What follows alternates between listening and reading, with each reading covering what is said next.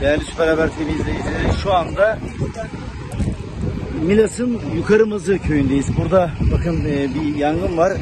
Burası toplanma alanı. Çok yer burada yanıyor ama burada şimdi teyzemiz var.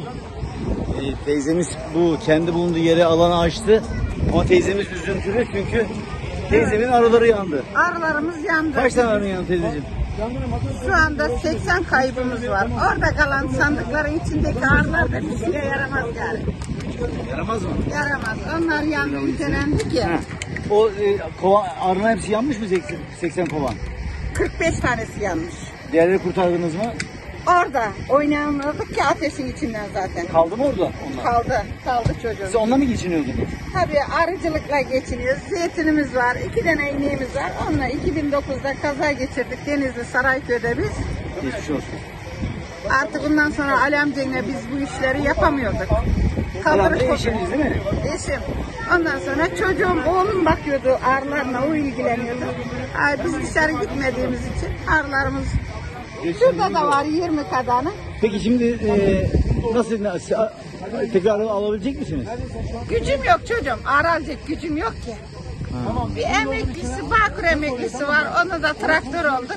Her ay bin lirası kredi kullandı. Bin lira evime bir gelir geliyor. O da elektrik su parama denk geliyor. Arılarla geçiniyordunuz yani. Tabii arılarla geçiniyorduk. Zeytinlerimiz olursa yağımızına geçiniyorduk. Bunun da dört parça yerimiz yanmış zeytin olan yerlerimiz. Ha. Ama inşallah de- devlet yardım edecek inşallah. İnşallah. Şunu da söylüyorum büyüklerimden. Şahsi olarak yardım istemiyorum. Bütün bölgedeki zarar gören insanlarımıza. Ha şimdi yedi baş hayvanım var. Saman, yem ihtiyaçlarım var. Eski ne yapıyorduk? Gidiyorduk şuradan kasamıza. Sandal deriz biz. Kesme dalı alıp gelip avlumuza atıyorduk. Destek oluyordu. Şimdi artık dağa gidip de bir çöp alacak bir şeyimiz kalmadı çocuk. Onun için yem desteği verirlerse bize, saman desteği verirlerse sevinirim. Burada yaşıyordunuz. Kaç senedir buradasınız? Ben buraya 6 sene yazları gelirim. Burada evimden kantronumu, sabunumu, yağımı eder gelirim. Zeytinimi onu satardım. Ama Şimdi burayı açtınız. Burada insanlar toplanıyorlar. Buradan da toplansın. yangın yerine gidiyorlar değil mi teyze? Tabii tabii. Buradan bugün dağıldı çocuklarım, kızlarım, gelinlerim. Hepsi hizmet veriyordu. Bunlar benim oğlumdu. Şimdi şuraya gelin. Onlar bile ne işe gitmediler. Sağ olsun müdürleri izin verdi. Yardımcı oluyorlar. Gidecek işçiyi dağıtıyorlardı. İsminiz ne teyzeciğim? Nurten Almaz. Kaç yaşındasınız? 58 doğumluyum. Maşallah.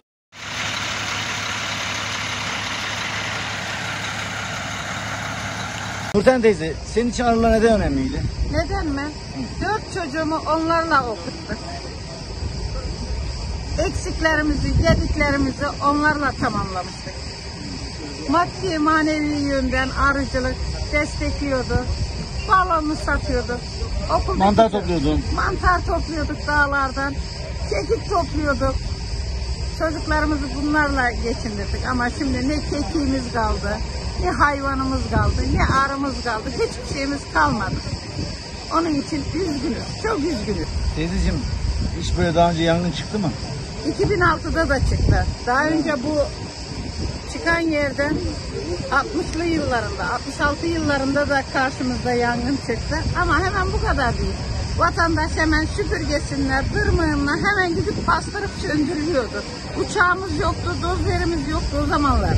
Ama şimdi her şeyimiz var ama önüne geçemedik. Neden? Neden? Hayvancılık bitti ya. Bu keçilerin olduğu yerde çam ağacı çok olur. Onu tırnak çapa vazifesini göster. Her tarafında yol olur. Ama şimdi yol yok, iz yok. Şuradan şuraya beş adım yere vatandaş yürüyemiyor. Keçilerin olduğu yerde bütün yol olur çocuğum. Ezer. Keçiler yok mu şimdi? Yok. Çünkü Neden yok? neden yok? Hayvan salınmayacak ormana dinildi ya. Bütün keçilerini sattı insanlar. Ne yaptılar? Turizme yöneldiler. İşte onun için üzgünüz. Üzgünüz. İnşallah, İnşallah. devlet sahip çıkacak, yaraları saracak inşallah. Yaraları sarılsın. Bir de şunu diyorum ki şahıs üzerine hiçbir şey istemiyorum. Yeniden bu yerleri böyle yeşertelim onu istiyoruz. Biz ömrümüz yetmez ona da. ne de olsa fideler dikilirse yerine o zaman mutlu olacağız yine.